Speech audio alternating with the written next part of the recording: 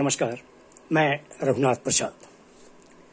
2024 के लोकसभा का चुनाव परिणाम 4 जून 2024 को जब आ रहा था, दोपहर बीतते बीतते पूरे देश ने यह समझ लिया कि अब गठबंधन की राजनीति का दौर शुरू हो गया है।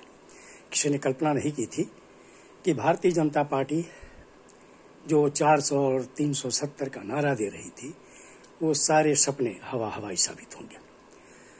भारतीय जनता पार्टी 2019 के प्रदर्शन से तिरसठ सीटें खोकर नीचे आ गई 240 पर और एनडीए आ गया दो सौ तिरानबे पर।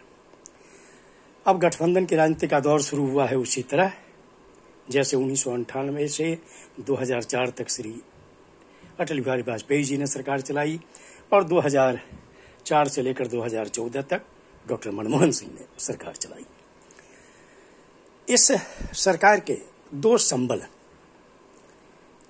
श्री नीतीश कुमार और श्री चंद्रबाबू नायडू। इन दोनों का जो इतिहास रहा है, ये पूरे देश की जनता जानती है कि ये निश्चित तौर पर अपने अपने जो इनके एजेंडा हैं, उनको वो निश्चित तौर पर बढ़ाने का प्रयास करेंगे और उसी समय विवाद की स्थिति पैदा हो सकती है।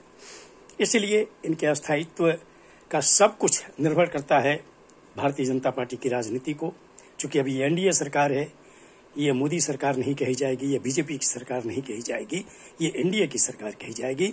और सबसे बड़ा उत्तरदायित्व श्री नरेंद्र मोदी जी पर होगा, जो हमारे माननीय प्रधानमंत्री हैं। चार जून को संध्या समय, चूँकि पूरी भारतीय जनता पार्टी में उदासी छाई हुई थी, परंतु माननीय प्रधानमंत्री जी, भारतीय जनता पार्टी के केंद्रीय कार्यालय गए। और वहाँ पर जो उन्होंने अपना संबोधन किया, उन्होंने जय जगन्नाथ के साथ उद्घोष किया। जय श्री राम जो भारतीय जनता पार्टी का हिंदुत्व का स्लोगन था, राजनीतिक स्लोगन कहिए, वो माननीय प्रधानमंत्री जी ने भुला दिया। लगा कि जैसे चूँकि उड़ीसा में इक्कीस में बीस सीट लोकसभा की मिल गई है, इसलिए वो गदगद हैं चूँकि अगर वहाँ पर वो स्थिति नहीं आती तो भारतीय जनता पार्टी का आंकड़ा 230 के नीचे आ जाता। ये तो भला हो गुजरात, मध्य प्रदेश, छत्तीसगढ़, दिल्ली, हिमाचल प्रदेश और उत्तराखंड का, कि भारतीय जनता पार्टी को इन्होंने, इन राज्यों ने बचा लिया। श्री राहुल गांधी जी और कांग्रेस पार्टी को इन्हीं राज्यों में बहुत ही कड़ी मेहनत की ज़रूरत है अगले पाँच वर्ष तक। और जहाँ पर इनको सीटें मिली है, इंडिया गठबंधन की पार्टियों को अपने अपने रण क्षेत्र को बचाए रखने का प्रयास करेंगे और आगे बढ़ाने का प्रयास करेंगे। अब देश की राजनीति में, देश के संसदीय लोकतंत्र के हित में हुआ है ये गठबंधन की राजनीति। भारत की भूमि अब नहीं चाहती, भारत की जनता अब यह नहीं चाहती कि एक पार्टी की बहुमत वाली सरकार हो, जिससे कि ये लोगों ने भुगता है कि किस तरह से एक पक्षीय संसद काम कर रहा है। और ये जो जय श्री राम का नारा के बदले जय जगन्नाथ का धार्मिक उद्घोष हुआ, वो सोचने के लिए बात करता है कि क्या भारतीय जनता पार्टी इतनी जल्दी इस बात को बदल देगी? और उसका कारण सिर्फ़ ये होगा कि उत्तर प्रदेश जो उनकी हिंदुत्व की एक प्रयोग भूमि रही, अयोध्या, काशी, मथुरा, उस भूमि में उत्तर प्रदेश की जनता ने धर्मनिरपेक्षता की आवाज़ को बुलंद किया और भारतीय जनता पार्टी को बासठ के बदले तैतीस परसेंट दिया। और सबसे बड़ा झटका ये लगा कि जहाँ 22 जनवरी को प्राण प्रतिष्ठा हुई राम मंदिर में, अयोध्या में, वहाँ के बरबोले सांसद श्री लल्लू सिंह जिन्होंने संविधान को बदलने की बात कही थी, उनको समाजवादी पार्टी के विधायक श्री अवधेश प्रसाद पासी जो अनुसूचित जाति से आते हैं और वो सामान्य सीट थी, उस पर उन्होंने करारी शिकस्त। शायद माननीय प्रधानमंत्री जी ने जय जगन्नाथ का उद्घोष इन्हीं कारणों से किया होगा।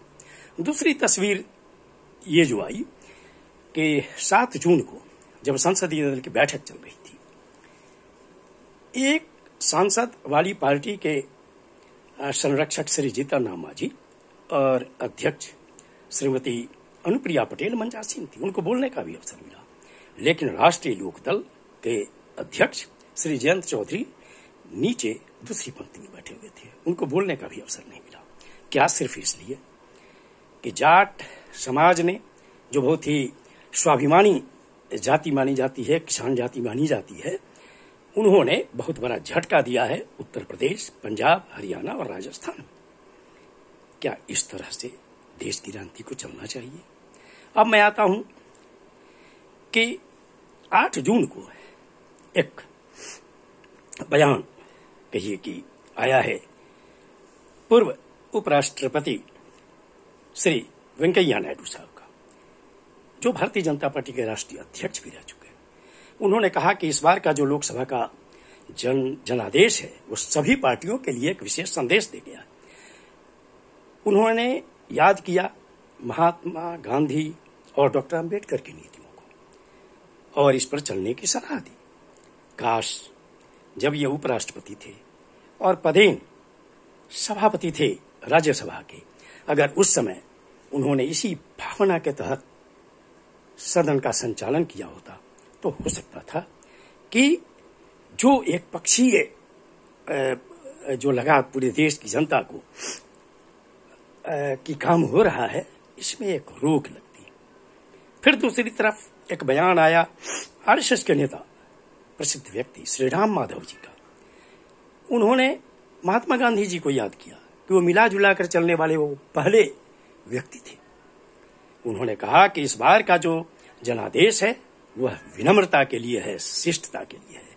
मैं कहना चाहता हूँ, एक भारत के नागरिक के रूप कि क्या श्री राम माधव सहित आरएसएस के सभी लोग बड़े लोगों को?